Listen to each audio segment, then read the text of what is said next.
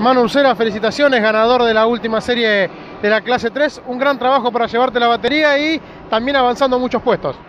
Sí, ¿qué tal? Buenos días, contento. Linda serie, agradecido a todo el equipo. Eh, la verdad que eh, es la tercera carrera con el auto y, y, estar funcionando así de bien me pone muy contento.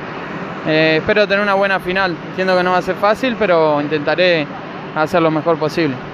Contame un poco cómo fueron lo, las superaciones, cómo fuiste llegando hacia la punta y también cómo fue rindiendo el auto en cada una de las vueltas.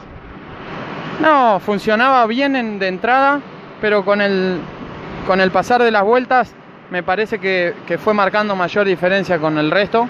Eh, me sorprende que lo alcanzo bastante rápido a Saturni doblando y la última vuelta que yo fui rápido o intenté ir más o menos rápido, él me seguía. Creo que por, por momentos había aceite en pista y, y, por ahí él se cuidó de más.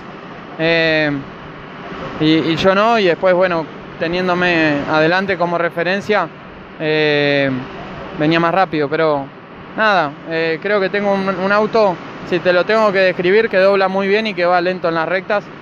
Eso es preocupante en función de la final, lo de ir lento en la recta, pero creo que con el pasar de las vueltas y mantiene el ritmo podemos hacer más diferencia todavía.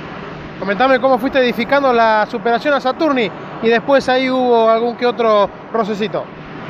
Eh, no, como te digo, él venía un poco despacio con respecto a mi auto. No sé si porque se venía cuidando un poco o qué. Eh, y en la curva acá enfrente frena por el medio y se corre un poco, un metro para, para ganar radio, para salir de la horquilla. Y yo frené bastante adentro y en diagonal y, puse el auto ahí, ahí adentro. Y, y, bueno, en el momento que él quiso volver estaba mi auto y él lo puedo superar.